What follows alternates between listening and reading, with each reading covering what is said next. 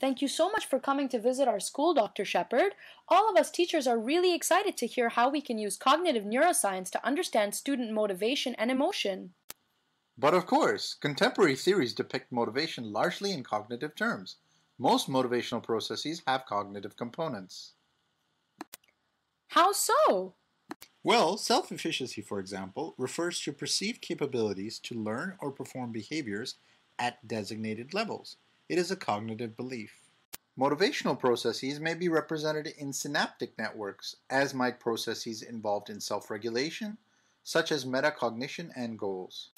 Wow, this kind of neurophysiological research on motivation and self-regulation variables would help to bridge the gap between education and neuroscience. Yes, so there are two kinds of neural counterparts of motivation, rewards and motivational states. Aren't rewards a key component of behaviorism? Behaviors that are rewarded tend to be repeated in the future, right? Yes, but cognitive and constructivist theories on motivation postulate that it is the expectation of reward, rather than reward itself, that motivates behavior. The brain has a system processing rewards. Many brain structures are involved, including the hypothalamus, prefrontal cortex, and amygdala. The brain produces its own rewards in the form of opiates that result in a natural high.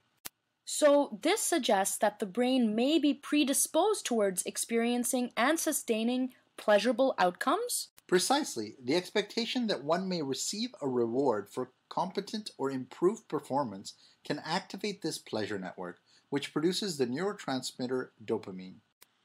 So, dopamine can be produced by the expectation of pleasure, anticipation of reward, as well as by the pleasure itself. Yes, and dopamine increases or decreases when there is a discrepancy between expected and realized rewards, such as when a person expects a large reward but receives a small one. Oh, so the dopamine system can help people adjust their expectations, which is a type of learning. Indeed. However, dopamine production is idiosyncratic.